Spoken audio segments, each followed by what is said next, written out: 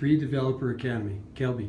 Three Developer Academy uh, clients.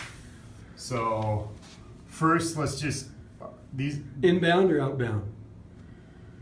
None of these are inbound. All outbound. All Awesome. outbound. Okay, so let me just quick mark what we're doing here. So Who sent is- what? We'll get there. Okay. So the this is this is a program.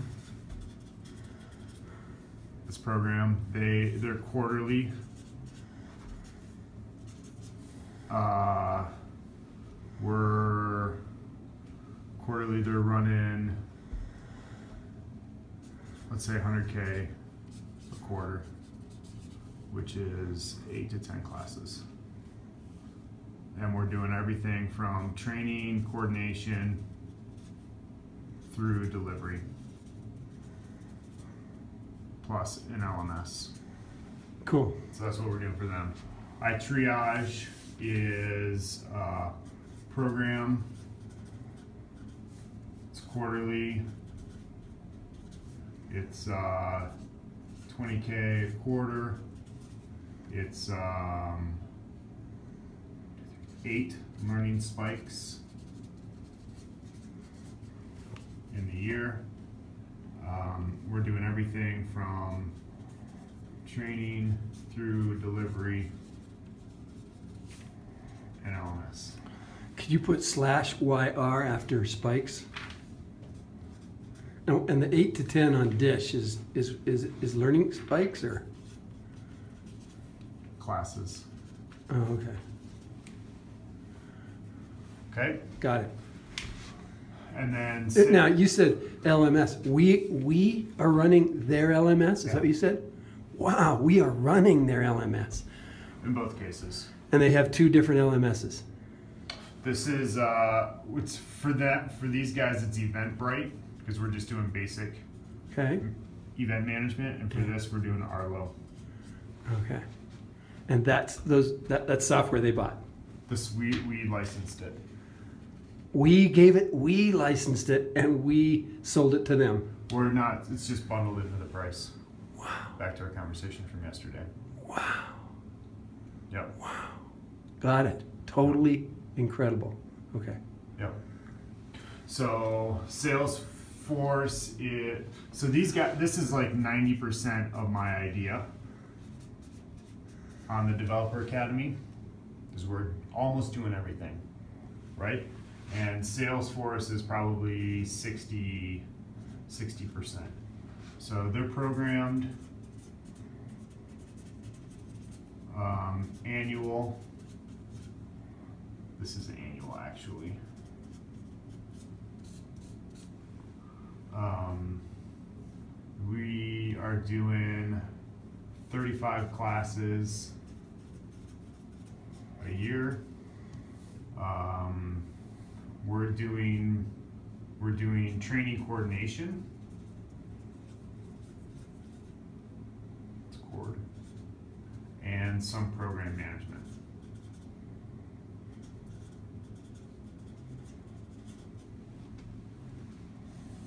And this is uh this is six hundred grand. Okay? And that's 20K per quarter for Per quarter. Okay. But these guys, yes, these guys, they have 80 engineers. These guys have 800 engineers. These guys have, you know, 1,000 plus. So the dollars per quarter, the, the dollars per engineer is interestingly different between iTriage and uh, and Salesforce. Um, so we're getting 2040. I got it. So we're making, so it's one This of them is more profitable. This is a $1,000 an employee, basically, right? And this is less than that. And Okay. this is Got it. less than that. If, if we are the ones um, picking the LMS, are we gonna are we gonna recommend Arlo or are we gonna recommend? Uh, Depends, but it depends if we acquire that thing, Carl, or not. right, but between now and when we make that decision, would we? What would we tell our We- customers? We would push Arlo. okay, okay, Yep. got it. Yep. So um, this one, so this these are all outbound, right? These are all outbound. Yeah. Outbound leads. So this is uh, So the first, the first, uh, the, fir- who sent the first message? Oh, this is a list, list built by Josh. Got it. old it. SDR. Okay. He sent the Developer Academy. The emails that have been recently Email. sent by the SDRs? Yep. Oh, okay. which I created. Okay. Just so we're clear. Yep. Okay. Ah. Ah, okay. Sent the Developer Academy email. Called John, the CIO, probably a bunch of times. So Josh had a conversation with John.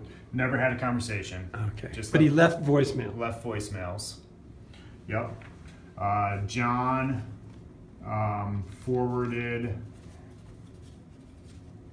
info to Heather. So the cadence is he sent an email, he'd call. A few days later, he'd send an email, he'd call. A few days later, he'd send an email and call. Traditional cadence, right? Perfect. left probably called this guy a bunch knew of john because at the previous company he was at he sold tried to sell a database product to john so john at least Unsuccessfully or suc- unsuccessfully so at least john maybe recognized his name Hmm. don't know Got it. but john port, passed this down to heather had a call with heather And Heather is the CLO. Heather is the yep, she is the senior IT program manager. So reports to a VP uh, in HR or in IT. in IT. Very important. Very cool. So So that's good to know. reports to a VP of IT who reports to CIO. Got it. Do they have L and D? Um, they have HR. So what happened is that Heather used to sit under HR, Yeah. and then they moved her into that. And she ran facilities and trainings and the whole thing under HR. But then they broke it off, put her under the CIO to do all of the same type of things, but focused on IT. I bet that kind of thing happens uh, a lot because HR and L and D folks are typically not technical, Yes. and the technical people want to have the oversight on on the, that kind of thing. I, this is really really good info. Yep. So we had calls with, I had a call with Heather, um, and sh- Josh was still around. So Josh and I had a call with Heather, had a couple calls with Heather, then met face to face. Um, okay. Ho- Uh, in the first call with Heather, um, was Heather, how did the first call go? And So the first call with Heather, she asked us what I did, what we did, and she had read the Developer Academy emails. So we went through very high level Developer Academy pitch deck. This is what we're doing. We're going to reduce your cost of training by 30 to 50%. We're going to do everything for you. You don't need to build the infrastructure. We'll just do it all. and what was her reaction to that? Um, her reaction is let's meet in person. So And they're located here. They're located in Englewood. Yep, so they're located here.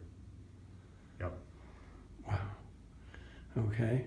So Local person local person had a had a senior level person say, talk to these guys. Actually, the c- first call she wanted to meet in person. Very well, maybe not the first call, but very quickly. Maybe this is the second call, but really, Right. really quickly, let's get together. Because I'm sure Josh had a few calls with her that I wasn't part of. Ah, okay, that's important. That's But that's they good. didn't really talk. I don't think they talked about They did they did whatever Josh would do. right as- whatever Josh would do to warm up a lead. right. Did you ever hear Josh warming up a lead? He had he has um, he had great rapport with somebody. So if, if he cold called you and you'd answer, like within five ten seconds he could create rapport. He would tell a joke or say something, and got the person talking. Do you ever hear any of his jokes? I'm sure, but not that Okay, but it was instant rapport. instant rapport. Using humor. Using humor or personal connection. He would Ah. he would look at the person's LinkedIn before he would call them. You know, see where they were from, see if he had any connection. Perfect. Did did the traditional research. And and he did this uh, kind of outreach, uh, eight hours a day. Was he full time or a part time? Full time? but he only. It's a different conversation, Mike. But he Okay. only worked maybe three hours a day, Okay, got it. Okay. and s- as a data point, set up. Set up probably t- anywhere from seven to twelve initial meetings per month, working about three hours a day, four hours a day. That's a very important data point. Um, with that, I'm gonna uh, uh, no. Let's finish dish, and then I'll cut this this this movie, and then we'll go to the next one. Okay. So we'll do it in chunks. So met face to face. uh, I went over my pitch deck again.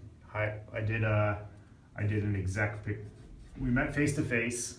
I went through the whole pitch deck, which is thirty slides. We talked about what we're doing. Heather said this is great. Blah blah blah blah blah.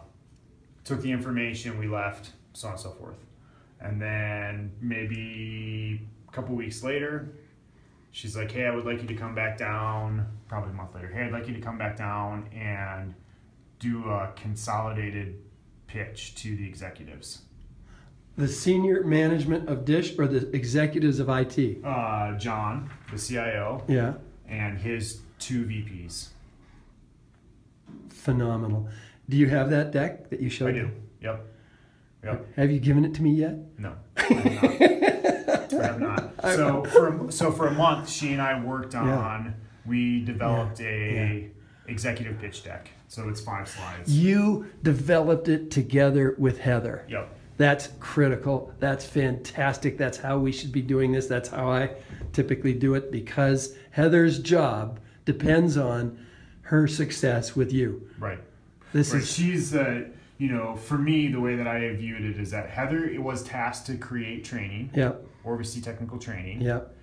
Uh, John said to Heather, or John said to Eric, her boss, "We're losing people. The culture sucks. We need to bring training in more frequently." So Heather got that task. So Heather was meeting with me. She's, you know, she works with Safari and a bunch of different training vendors. So I think she was really just validating, figuring out are these guys legit? Are they not legit?